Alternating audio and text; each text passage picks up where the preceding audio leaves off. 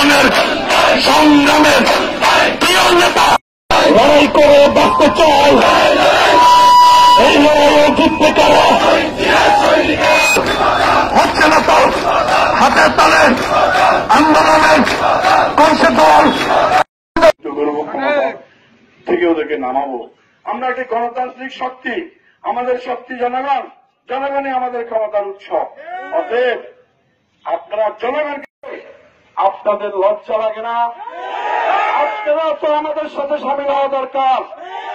একটা দল কি করে বছরের পর বছর অবৈধভাবে ক্ষমতা থাকতে পারে? কীভাবে ছাগল, কুকুর দিয়ে ভোট দিতে পারে? কেন্দ্রে মানুষ থাকে না চোদ্দ সালে? চাকরি হবে না আর যদি বিপ্লবের গতিতে ছুটতে পারেন, বিদ্যুতের গতিতে আঘাত করতে পারেন, তাহলে আপনারা ক্ষমতা যাবেন, এটাই তারেক রহমানের ঘোষণা।